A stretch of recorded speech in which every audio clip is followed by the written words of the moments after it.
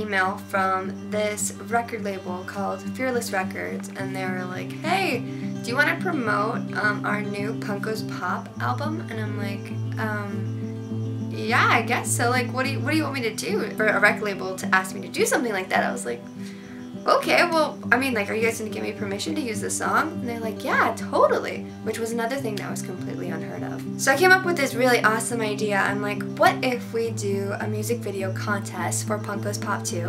And I'll have my friend Zach uh, host the contest on his channel as well. And it'll be Binks versus Burry. And his subscribers will make music videos, and then my subscribers will make music videos. And um, we'll choose the best out of those two groups, and they'll go head to head and um, you guys can decide who wins. They're like, yeah, that'd be a great idea. We ended up winning, by the way. In the same way that Vlog Candy encouraged me to try new things and challenge my editing skills, every time I ever did a music video contest, I feel like I did the same thing for um, a lot of other people who maybe wanted to start a YouTube channel but didn't have a reason.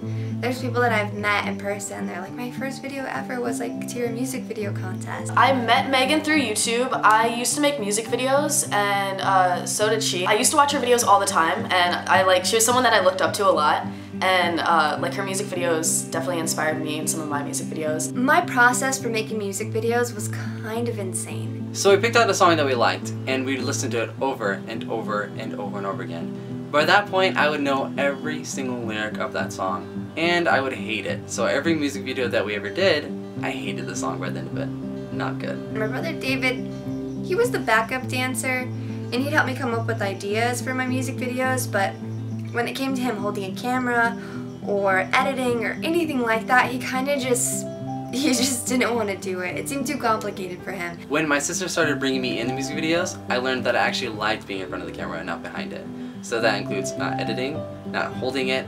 I didn't like doing that at all. It was like Little Red Hen. There was this girl named Annie, and I, I actually mentored her. She went to the church, and um, she was just kind of my little sidekick. Meghan was very cool, and I think that that is why I gravitated towards her. She was this 19-year-old skateboarder um, she was a girl, she always listened to Avril Lavigne, and she was just on it. Slowly but surely, Annie would come with me on music video shoots and she'd help me set up shots and then uh, she'd start having her own idea for the way she wanted shots to look and um, she'd watch me edit and put things together and it was it was a really cool it was a real, really cool bonding moment. Annie was basically Meghan's first assistant. She helped out with filming, editing, anything my sister basically needed. She was the first person that took interest in what Meghan was doing. I loved it, I loved her, and I loved spending time with her.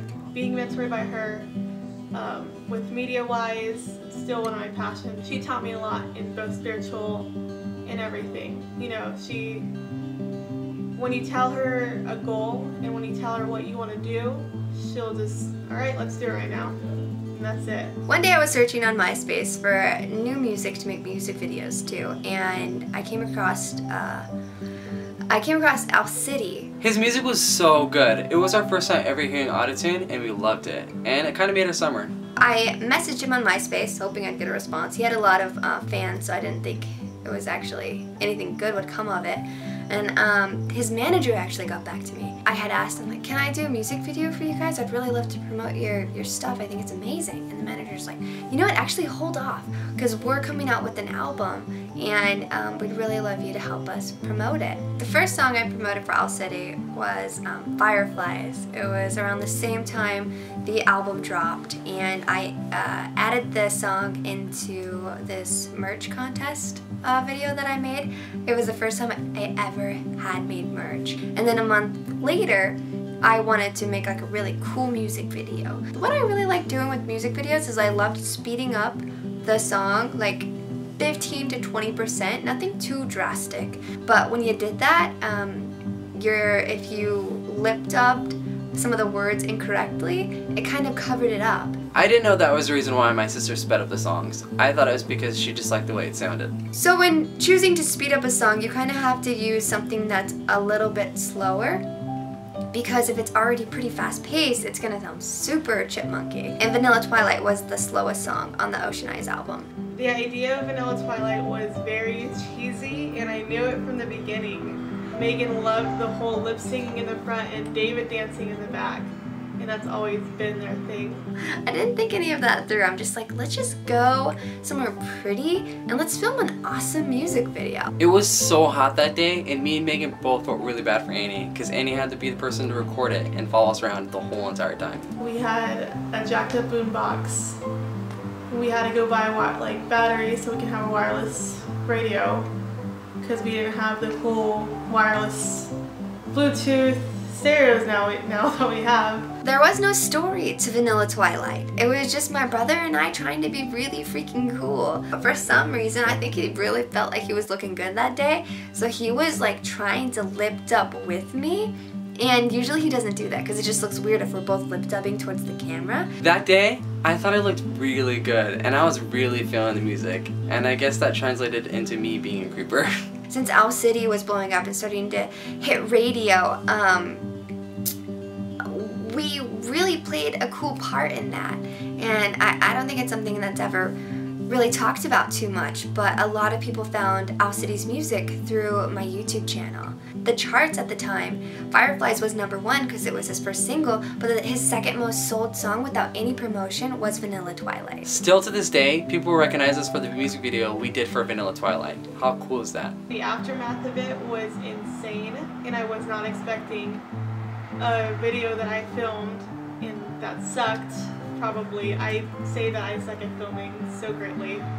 Got 4 million views because all these little kids loved watching it over and over. I was pretty stoked to be a part of that. After that, it felt like the floodgates opened. I did music videos for Forever the Sickest Kids, A Rocket to the Moon, Lelia Broussard, Breanne Düren, who um, plays piano for Owl City. Another really cool band I got to promote was He Is We, before they had um, been signed to Universal. I remember I did a music video for Happily Ever After, and uh, I did that with Annie. We were just filming out in the park in the rain. It was such a hot mess, but we did it and it was awesome. And um, their their sales just like went through the roof. And like the people over at Universal was like, what the heck, what's happening? Like we wanted to keep this band under wraps. We wanted to recreate their sound. Like why are they selling all these songs? And they found out that it was because of my music video. There was a need for what I was doing. And um, a&R people were hitting up, they were blowing up my email, sending me demos, and they, they saw the power of of what I of what I had done with Owl City and the power of what I was doing with He Is We that it just it just seemed like why not? And it was just it was so cool to be a part of that. I remember youtubers would ask me like how did you get permission to do that? And i'm like well i'm working directly with the labels. So with getting all these opportunities to do music videos for bands um, there are three that i passed on and uh, Oh, I beat myself up about it like every single day. The first one I passed on, it was Neon Trees. And I swear to you, a couple months later, it blew up. It was all over the radio. And I'm like, no, I could have been a part of that. The next one was, um, these happened kind of around the same time, um, Fun which I was talking to them and I was actually going to do promotion for them, but I just never got around to making the music video. And the last one was Of Monsters and Men. I heard about them before um, they had hit radio or caught any momentum. And I, I loved their song, uh, Little Talks. It was so eerie and so cool. I knew when I first heard it, I'm like, this is going to go to radio.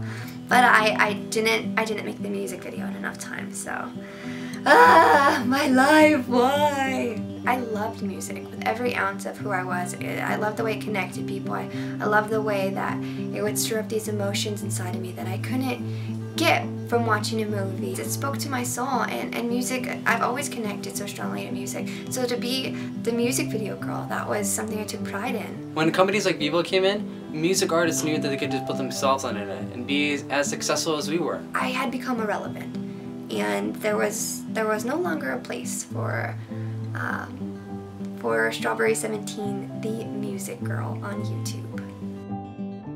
I met Freddie Wong at a Project for Awesome and it, it, was so cool. I remember we went back to his place and we were talking about video games with a whole bunch of people and I was telling him how obsessed I was with World of Warcraft and he's like, dude, you should meet my brother. He loves World of Warcraft. You guys would get along great. I'm like, what's your brother's name? he's like, his name is Jimmy.